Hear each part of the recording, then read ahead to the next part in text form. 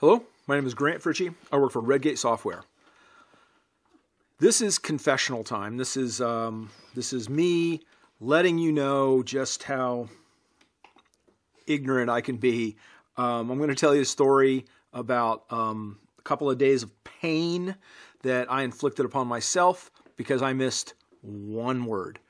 Yep, missed one word. I'm going to do a quick little run through on on a couple of things, but um, Here's the message for today. Um, first up, I did assume that I screwed up. I just couldn't figure out where. I mean, that's the biggest thing is is when you make these kinds of mistakes, it's hard to understand where you made the mistake, and that's that's the thing. But but starting from the proposition that, geez, something isn't working the way I think it ought to. In this case, a container is not working the way I think it ought to. What did I screw up? Not, well, it's broken.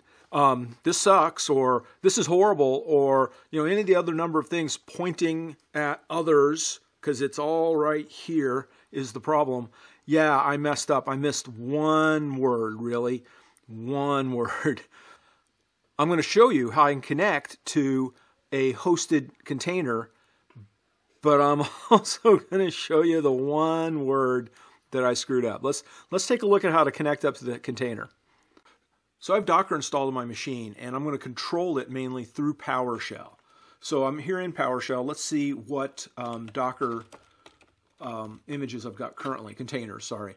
And um, what I've got is right here, this container, which I didn't give it a name when I set it up. This one is status is up, and so therefore it's running. Um, so we can, you know, we can connect to that.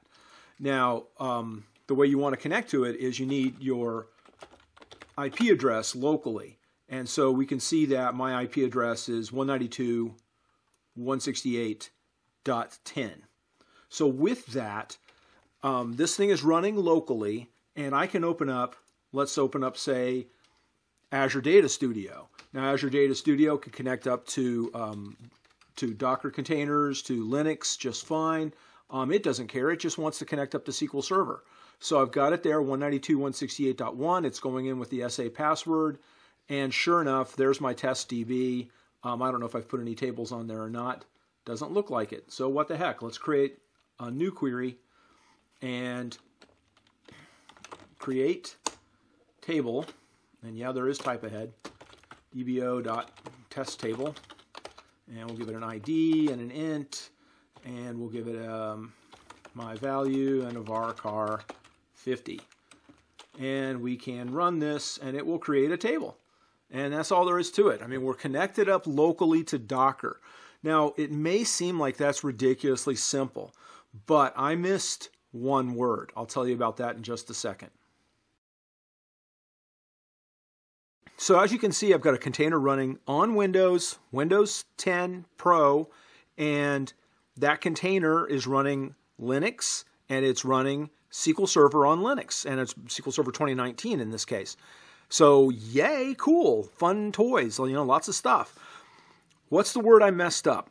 Well, so you saw how I connected up with an IP address, yes?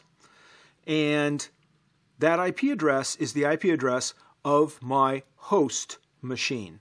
While reading the instructions, I read find the IP address on the machine. On Linux, use if config or IP address. On Windows, use IP config. I'm like, okay, okay, cool. You know, uh, off I went, tearing through stuff. Find the find the address of the machine. Find the address of the machine.